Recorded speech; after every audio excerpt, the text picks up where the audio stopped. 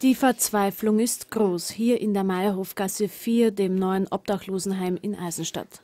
Erst vor kurzem stellte der Besitzer, die Privatstiftung Esterhazy, dieses Gebäude dem Freiraum Pannonien zur Verfügung.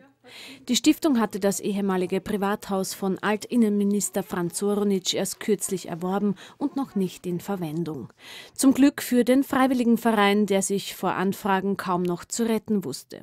Wir haben es erst seit kurzer Zeit und es sind dann täglich an zwei Leute gekommen. Es sind auch schon wieder ein paar gegangen, aber im Moment haben wir acht Leute fix da.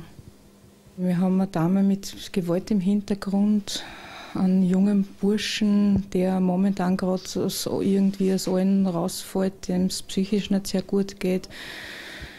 Äh, ein paar Männer, die aus verschiedensten Gründen in Not gekommen sind, hauptsächlich, also kann man schon verfolgen, dass es Männer sind dies betrifft. Der Bedarf ist also auch im Burgenland gegeben. Das Vorurteil, Obdachlose gebe es nur in Großstädten und nicht in ländlichen Gebieten, hält schon lange nicht mehr. Bis zu vier Wochen wird Bedürftigen hier Quartier gewährt. Dann sollten sie eine Lösung parat haben. Und das ist meist nicht leicht. Wir müssen einmal schauen, ist, der, ist die Person finanziell abgesichert? Wann nicht? Dann müssen wir halt zu den Behörden schauen und hoffen, dass uns jetzt der, das Soziallandesreferat helfen wird oder die zuständigen Sozialämter. Wir werden schauen, dass sofern der Mensch noch vermittelbar ist, dass er einen Job kriegt und halt ja, ihm so lange helfen und begleiten, bis er wieder selbst auf eigenen Füßen stehen kann. Das Telefon von Andrea Roschek läutet derzeit fast ununterbrochen.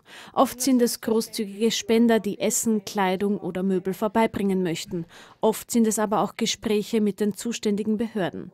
Nicht leicht sei es, finanzielle Unterstützung von öffentlicher Hand zu bekommen, so Roschek. Vor allem ist die Zeit hier der größte Feind. Ja, also momentan bin ich froh, dass ich hier bin, weil es gibt im Burgenland sonst nichts. Und weil die müssen alle auf Wien rauf, dort war ich auch eine Zeit lang, aber das ist, dort ist keine ruhige Lage, da sind mehr Leute. Und ja, das habe ich jetzt auch dort der Zeitung erfahren und habe mich da ein bisschen umgehört und dass ich jetzt in Gebirge eine neue Wohnung bekomme. Nur fehlt mir leider die Kaution. Und deshalb werde ich jetzt auf das Sozialreferat gehen, weil ich, ich hoffe, dass mir dort weitergeholfen wird. Ich bin am Arbeitsamt gemeldet, nur bekomme dort den Notstand. Aber das ist leider zu wenig. Ne? Ein wichtiger Tag also für Walter Zackerl. 900 Euro macht die Kaution aus und ohne Unterstützung wird er sich sein Eigenheim, eine kleine Mietwohnung, wohl auch nicht verwirklichen können.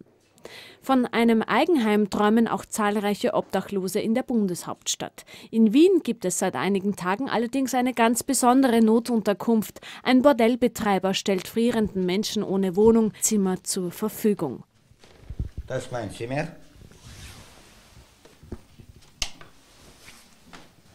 Seit einer Woche hier wohne ich. Am Montag um 9 Uhr in der Früh waren die ersten beiden hier.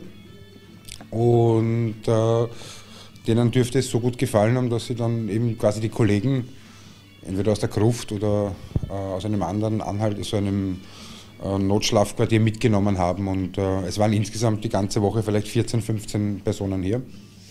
Und äh, wir haben das jetzt sogar bis Mittwoch verlängert, weil die Kälte doch noch da ist und wir noch zwei, zwei bis drei Zimmer frei haben. Und es ist tatsächlich wie im Hotel. Ein eigenes Zimmer, wo sogar die Bettwäsche immer frisch ist.